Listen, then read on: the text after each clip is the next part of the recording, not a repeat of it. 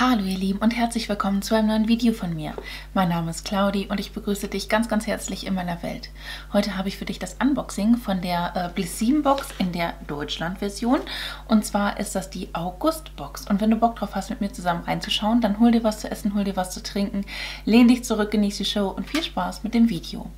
Das ist eine Box, die ähm, ja, 14,90 Euro pro Box und pro Monat kostet und relativ neu auf dem deutschen Markt ist. Denn ähm, ja, es gibt ja auch immer noch die französische Variante der Blessim Box, die auch äh, bei mir monatlich eintrifft. Und äh, ja, irgendwie hat sich das Blessim Box Team überlegt, dass es ganz cool wäre, die Blessim Box jetzt auch wirklich auf den deutschen Markt zu bringen. Weil die Nachfrage sehr hoch war. Und das ist eigentlich aufgrund von euch. Das ist ziemlich witzig, denn ihr habt mir die Box damals empfohlen, dass ich mir die mal abonnieren sollte. Habe ich gemacht. Und dann hat Blissim halt gemerkt, mh, okay, ganz schön viele deutsche Abonnenten haben wir auf einmal. Und äh, ja, deswegen haben die sich jetzt hier deutschmäßig, deutschmäßig, genau, also in Deutschland quasi gegründet. Und ja, Finde ich ganz cool, weil wir können damit ein bisschen sparen. Die französische Variante kostet mich nämlich so 17,90 Euro pro Monat und ähm, die deutsche Variante, wie gesagt, ist bei 14,90 Euro. Finde ich ganz cool. Ähm, ja, und ich mag die Blissim Box. Wir haben eigentlich ein unterschiedliches oder ein wechselndes Boxendesign. Manchmal sind das Schubladen, manchmal ist es ein Täschchen. Dieses Mal haben wir hier tatsächlich auch eine richtig schöne Box, die man toll auch weiter verschenken kann oder als Aufbewahrungsbox verwenden kann. Also so richtig schön Zigarrenkistenmäßig, ne? Von der Größe her auch. Mag ich richtig gerne leiden. Und ähm, ja habe ich gesagt, in der Kooperation bekomme ich die jetzt kostenfrei zur Verfügung gestellt. Weiß ich gar nicht. Ist so, ne? Also es ist eine Kooperation, dass ich sie jetzt hier vorstellen kann und euch zeigen kann, was sich in der Box verbirgt.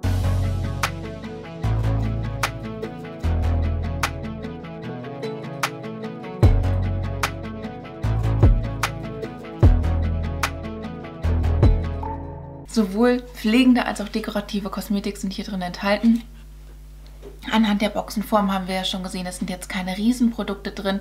Manchmal überrascht uns aber die Blissim Box, ne? dass wir hier dann auch auf einmal so eine Full Size von der Fenty Beauty Foundation zum Beispiel drin hatten. Wir haben jetzt im August das Thema Sommerlichter. Ja, jetzt heute, wo ich die Box auspacke, ist es zwar recht warm. Also wir haben es, ähm, ja gut, jetzt sind es gerade nur noch 20 Grad, ne? Ähm, ja, 20 Grad Ende Juli, 28. Juli, der Freitag ist da, ne? Und ähm, soll aber wieder wärmer werden. Das heißt, der Sommer kommt und das ist ja auch die Augustbox. Ne? nächste Woche, wenn ihr das Video seht, soll es ja auch richtig schön warm wieder hier werden. Mm, und jetzt hat die äh, Redaktion hier so ein kleines Vorwort reingeschrieben, was die Boxenpacker sich quasi beim Boxenpacken gedacht haben. Finde ich immer cool zu wissen. Die glänzende Abendsonne am Horizont, den rot gefärbten Himmel bewundern und der, der leichte Wind, der sich um deine Haare spielt. Endlich können wir unsere Seele frei baumeln lassen und die letzten Sonnenstrahlen genießen. Um auch deine Haut nach den unvergesslichen Sommermomenten zu pflegen, ist unsere Augustbox genau das Richtige für dich. Da bin ich ja mal gespannt, was dann da drin sein wird. Also schon definitiv, die Sonne scheint und so, Sonnenstrahlen genießen in gewissem Maße, also wenn man halt die Möglichkeit dazu hat. Aber es ist schon so, dass ich äh, mir auch so ein kleines Auf aufblasbares Poolchen, Poolchen tatsächlich, äh, in den Garten gestellt habe. Genauso habe ich auch äh, da eine Hängematte, ne, dass ich da auch ein bisschen mal chillen kann. Finde ich auch wichtig, dass man das auch mal genießen kann. Aber wenn es 40 Grad sind, brauche ich das nicht unbedingt draußen genießen. Hier haben wir einmal den Blick in die Box und da sehen wir auch die Produkte schon drin enthalten. Als erstes habe ich hier was von Cadalis drin. Ähm, oh, Banana Science, Le Corps Nourrisson, eine Nourishing Body Lotion ist das nämlich mit 99,5% natürlichen Inhaltsstoffen. Ähm, ein veganes Produkt, 100 Milliliter haben wir hier drin. Ich mag Banane richtig gerne leiden. Das werde ich in Anwendung nehmen. Kann ich mir gut vorstellen. Ich creme mich ja eh abends nach dem Duschen immer ein und da ist so eine After-Sun-Geschichte eine ganz tolle Geschichte. Geschichte. Sie erzählt Geschichten, man weiß Bescheid. Und ich mag sowas. Ne? Finde ich cool. Als nächstes dürfen die Haare nicht fehlen. Kerastase, G nee, Genesis Mask Reconst ja, so eine rekonstruierende Maske halt. ähm, für schwaches Haar zum Auswaschen. Okay, ist auch ziemlich teuer, 75 Milliliter. Kerastase ist ja so, ne, wird ja auch von Friseuren empfohlen und so weiter. Finde ich interessant, kann ich auf jeden Fall mal testen. Aber ich meine, ich habe das schon mal ausprobiert. Also ich mag Kerastase-Produkte eigentlich wirklich gerne. Ja, das riecht echt angenehm leicht blumig. mag ich gerne leiden. Das ist schön. Und ja, so, ein, ähm, so eine Maske gebe ich mir dann immer so ab, Ohrläppchen rein, ne? Und dann dürfen die Längen und Spitzen gepflegt werden. Hm. ich habe nämlich zurzeit super trockene Haare, aber ich habe gute Haare. Das ist jetzt wirklich, das ist positiv. Ne? Durch die Schwangerschaft sind meine Haare wirklich, wirklich sehr geil geworden. Guck mal, wie, wie voluminös. Also ich müsste jetzt heute eigentlich, ne, wenn man sich das anguckt, müsste ich eigentlich gar nicht Haare waschen. Und ähm, ich bin jetzt quasi an Tag 2. Also theoretisch könnte ich jetzt auch schon ja, dass ich drei Tage ohne Haare waschen mache, ne? Ist richtig krass. Sowas kenne ich gar nicht. Ich muss seit meiner Pubertät jeden Abend Haare waschen oder jeden Tag, weil ich ansonsten echt so richtig Spaghetti-Haare habe. Ganz schlimm. Aber durch die Schwangerschaft, Leute, das ist richtig geil. Ich habe auch gehört, dass dann, ne, wenn Stillzeit und so und die Hormone werden wieder runter, dass dann die Haare ausfallen können und so weiter und dass das äh, Schöne dann vorbei ist. Egal, ich genieße es jetzt so lange, wie es geht und äh, finde es einfach schön. Genau. Ja, aber trotzdem, die sind halt sehr trocken und brauchen dann auch dementsprechend Liebe. Deswegen kann ich mir auch vorstellen, dass ich mir die Haarmaske einfach reinmache. Also ich muss ja nicht dann meinen Ansatz waschen, ne? Kann ich ja trotzdem, dass ich die Haare nass mache, dann die Haarmaske reinmache, einwickeln lasse und ausspüle. Ich glaube, das geht ja auch eigentlich vollkommen klar, ne? Warum eigentlich nicht? Sodele, weiter geht die wilde Reise. Wir haben ja, wie gesagt, hier auch ähm, dekorative Kosmetik mit drin und das ist von All Tigers ein Vegan and Natural Origin Eyeshadow Pencil in der Farbe Taub 309. Ich bin kein Fan von Lidschattenstiften. Das habe ich schon des Öfteren mal erwähnt. Ne? Also ich habe das jetzt, dadurch, dass Nabla ja zum Beispiel die neuen Launches hatte, ne? mit den Cupid's Arrow Stiften, habe ich gemerkt, dass die richtig geil sein können. Gerade wenn du so Pastellfarben hast und die im Sommer nimmst, so knallige Farben. Da stehe ich drauf. Das finde ich wirklich cool. Mm, oder dass man halt diese Technik anwendet, die Jennys Highlights ja auch mal erwähnt hat, ne? dass du das quasi so hier nach außen wie so ein Eyeliner und dann hier so ein, so ein V und dann kannst du dir das ausmalen und so. Auch richtig, richtig geil, ne? wie sie das gemacht hat. Zieht euch die Frau mal rein, die hat richtig gute Ideen.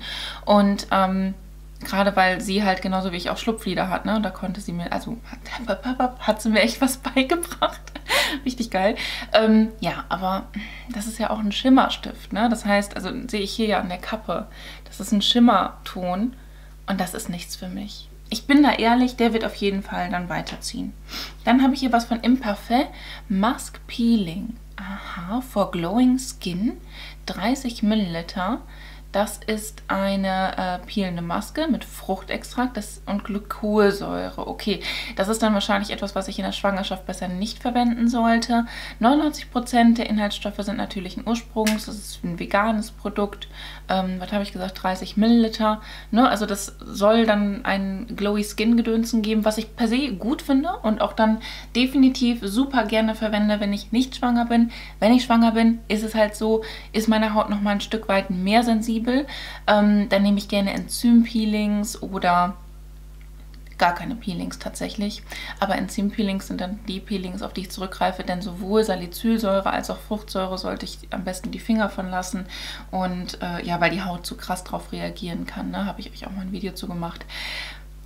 Hm, ich glaube, das kommt eher so in meine, muss demnächst dann irgendwie so in einem Jahr ausprobiert werden, Kiste. Ne? Also ich kann es jetzt halt einfach nicht verwenden. Better Not. Und dann habe ich hier das letzte Produkt drin. Ich glaube, auch das kann ich nicht ver verwenden, aber das ist geil. Also da freue ich...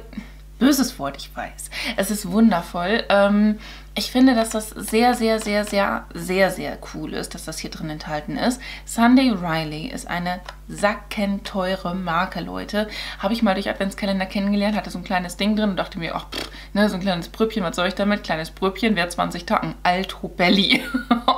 Und hier haben wir einfach mal das Luna Retinoid Sleeping Night Oil drin.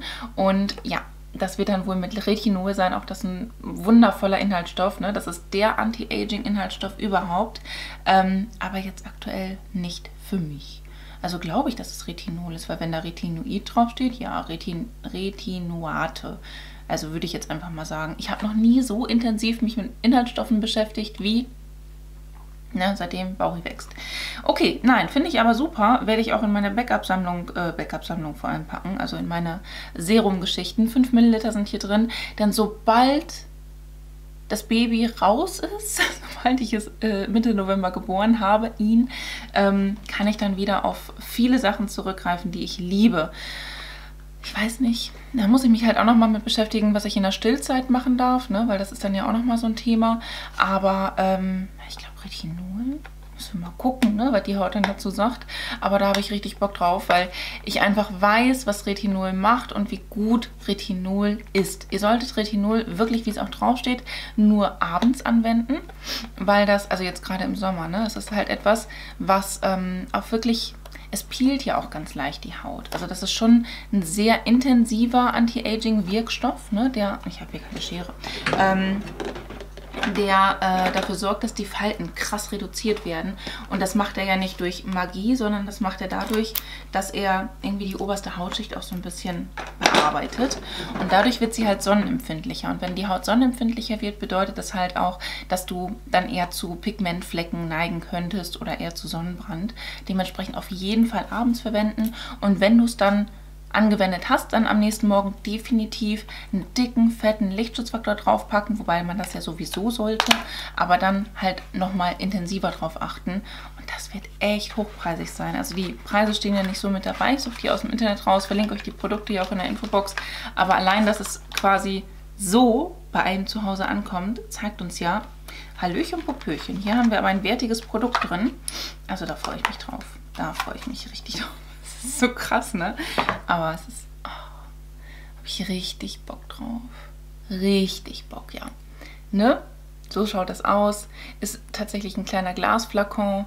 5 Milliliter, das hat man relativ schnell aufgebraucht, aber weil Sunday Riley, hochpreisige Marke, ist das vollkommen in Ordnung. Und das wäre jetzt auch die ähm, Blissim Box Deutschland für August gewesen ich finde sie schön. Also wir haben hier halt wirklich super passende Sommerprodukte drin. Also sowohl ähm, auf die Haare wird geachtet, dass man sagt, Mensch, es ist irgendwie cool, dass du jetzt, wenn du halt ne, trocken und so weiter und sonnengeschädigt, dass du da einfach ein bisschen extra Pflege bekommst. Dann, dass man hier auch extra so drauf achtet, dass man die Haut ordentlich bearbeitet mit ähm, ja, Glykolsäure und auch mit dem Retinol, finde ich richtig geil.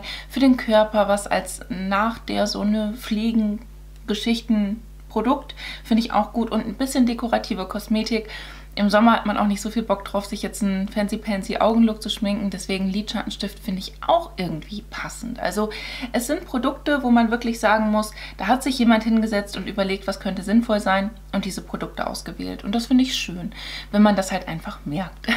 Und ja, deswegen kann ich euch die Box empfehlen. Schaut gerne in der Infobox vorbei. So viel so zu dieser Box und von mir und äh, vielen Dank an das liebe Blissim-Team, dass ihr mir die Box zugeschickt habt. Und wenn dir dieses Video gefallen hat, dann lass mir doch sehr, sehr gerne einen Daumen nach oben da. Würde ich mich mega drüber freuen.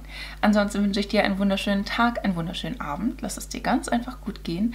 Fühl dich ganz doll gedrückt von mir. Ich verlinke dir mal hier oben meine Playlist mit den ganzen Unboxings der Boxen. Hier unten meinen neuesten Upload. Auf dieser Seite noch ein Video von mir. Und hier oben kannst du, wenn du möchtest und es vielleicht noch nicht getan hast, mich sehr, sehr gerne einmal kostenlos abonnieren. Ich würde mich echt von Herzen drüber freuen. Lass es dir gut gehen und hoffentlich bis zum nächsten Mal.